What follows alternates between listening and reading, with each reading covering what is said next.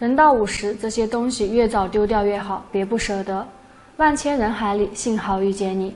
人的一生会经历很多事情，但到了一定的年龄后，就看透身边的人，还有一些社会关系。这时就应该明白了生活的道理，懂得了该交往什么样的朋友，该舍弃什么，珍惜什么。特别是五十岁的人，更应该明白这一切。所以，人到五十，这些东西越早丢掉越好，别舍不得。一，丢掉不良习惯。任何人都不是完美的人，每个人身上都会有这样那样的缺点，还有不良的习惯和喜欢，比如喝酒、吸烟、打牌、爱慕虚荣、倒闲话、熬夜等等。人到了五十岁，这些真的该扔掉了，不然就会影响自己的健康，增加自己的烦恼。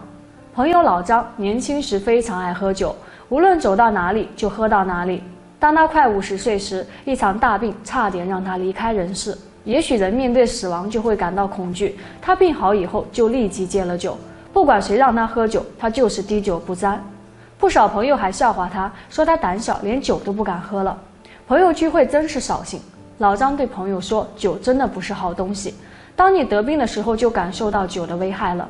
因为他们以前喝酒都是拼酒，不醉不归，所以很多人的身体都喝出了毛病。”在现实生活中，不仅是喝酒、抽烟有危害，还有打牌等不良恶习。很多家庭都会因为这一爱好妻离子散。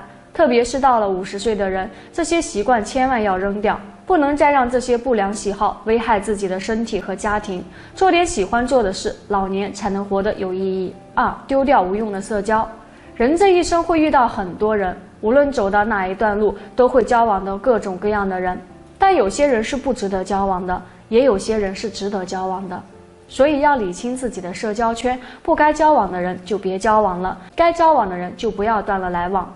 老王今年五十三岁了，以前没事的时候喜欢和一帮朋友出去喝酒打牌，要么就是坐在一起聊聊女人的事情，空闲就是消磨时间。那时还觉得乐此不疲，现在他觉得没有一点意思，后悔浪费了很多时间。现在老王退休了，那些朋友在喊他打牌、喝酒玩时，都被他拒绝了。他觉得这都是伤身体，又没有任何意义。根据老伴的建议，他又拾起了自己年轻时的爱好，每天坚持画一幅画，然后自己在家欣赏，有时跟书画界的朋友交流。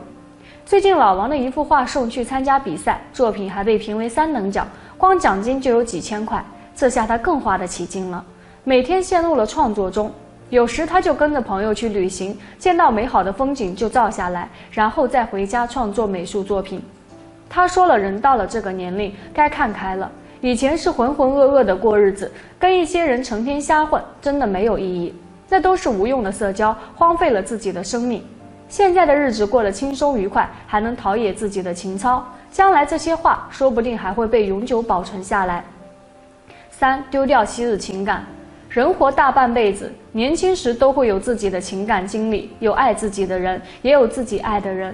但到了五十岁后，这些过去的情感早该忘掉了，不能再活在过去的回忆里，因为现在的生活已经定型，那些情感也该扔掉。人不能总是活在梦里。五十岁的老刘总是忘不掉自己的初恋，因为现在的老婆是他在初恋失败后认识的。当时他正陷入痛苦，姐姐就趁机给他介绍了女友，然后就结婚了。关于他的初恋，老伴也是知道，年轻时也都没有在意。